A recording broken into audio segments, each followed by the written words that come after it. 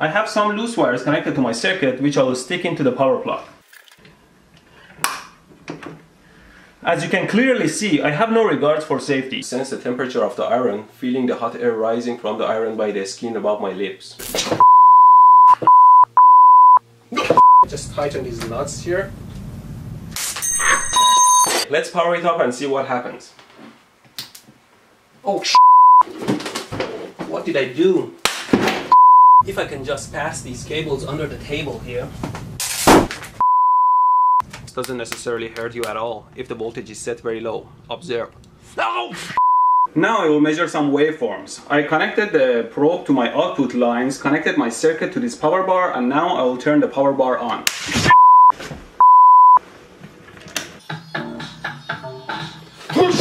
Increase the frequency all the way to 60 Hz. Right now I'm touching the wires and I can't even feel it because the voltage is not high enough. Now I like to use my 100 ohm resistor and connect it to the output to see how the waveform changes. Now I use pliers to hold the resistor.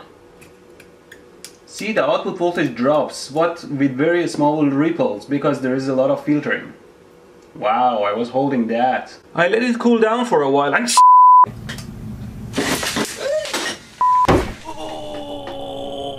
So always discharge them with some resistor. It's not the best way to do it, but I'm gonna short the capacitor with a wire. It's okay, it's safe now. We're safe now. Don't touch with your bare hands. Bare hands. Bah. Why do you call them bare hands? Now I'll put my finger across the output. See, I can barely feel it. DC is much less dangerous than AC. Barely. What's up with birds in your language?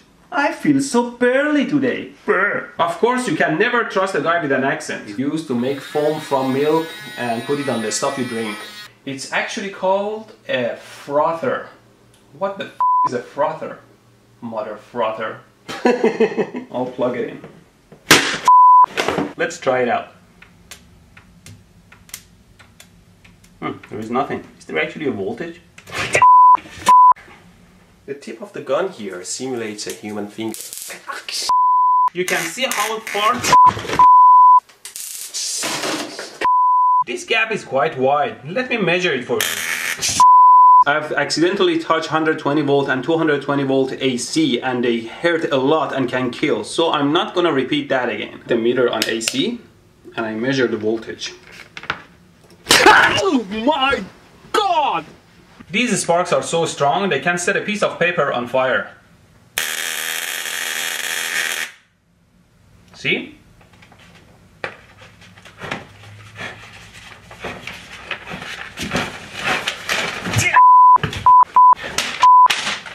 Some electricity passes through the hair and it falls out. I assume they use something like a taser that zaps the hair dead and for that purpose I'm gonna use my homemade taser.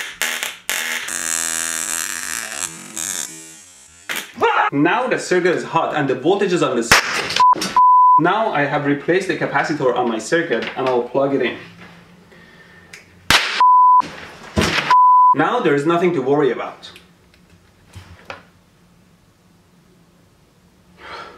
You see there is 334 volts on this one. Let's touch this one. Ouch! Ouch! Well, this one hurts much more, but not nearly as bad as the 120 volt AC. Let's try the taser now. Now I'll use the taser. Ow! And let me zap this one. When you press the button, it sparks.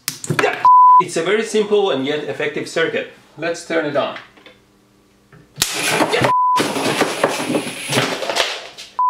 your cell phone in your mouth so that the sound gets to your eardrums from those other canals.